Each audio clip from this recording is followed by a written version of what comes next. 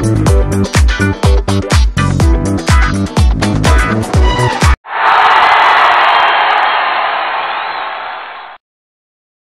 this Roop the Bengali guy সবাইকে আমার ব্লগে স্বাগত।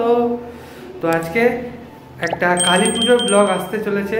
তো ভিডিওটা একদম স্কিপ করবে না, পুরোটা দেখো। আর আমার চ্যানেলে যারা নতুন, তারা অতি অবশ্যই কিন্তু লাইক শেয়ার সাবস্ক্রাইব করে দিও।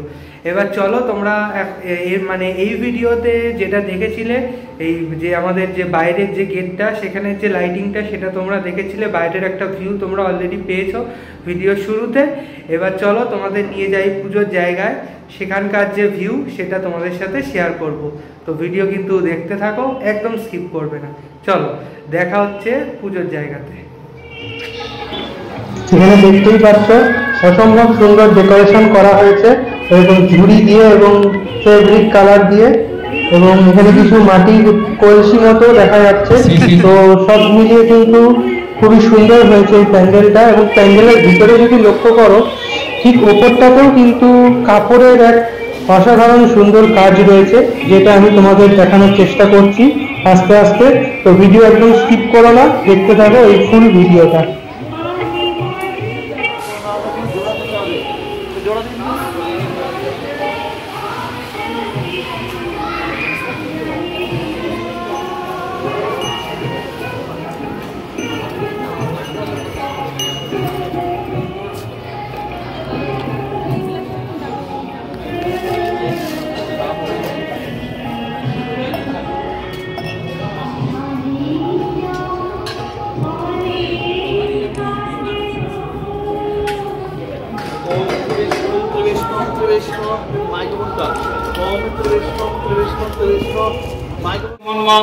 তো এখন আমি চলে এসেছি একদম মণ্ডপে যেখানে পুজো হচ্ছে।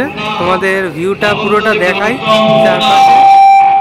এই দেখো, এখানে লাইটিং করা রয়েছে, দেখতেই পাচ্ছ।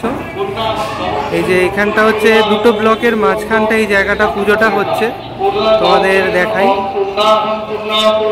এবং ভালো কিন্তু সাজানো হয়েছে এবার। ডেকোরেশন খুব সুন্দর হয়েছে। প্যান্ডেলও খুব সুন্দর পূজা পাবনে ওম ঋত্বিক ভক্তম ঋত্বিক ভক্তম সিদ্ধি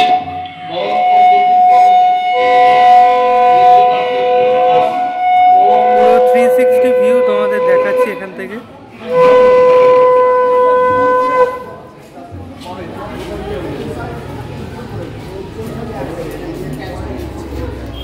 তো